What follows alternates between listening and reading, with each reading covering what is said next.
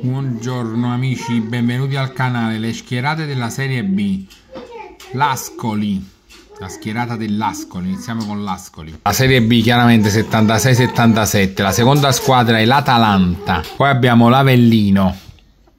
Poi alla terza squadra abbiamo il Brescia. Dopo il Brescia la schierata del Cagliari. Campionato Serie B 76-77 Proseguiamo con la schierata del Catania e poi la schierata del Como?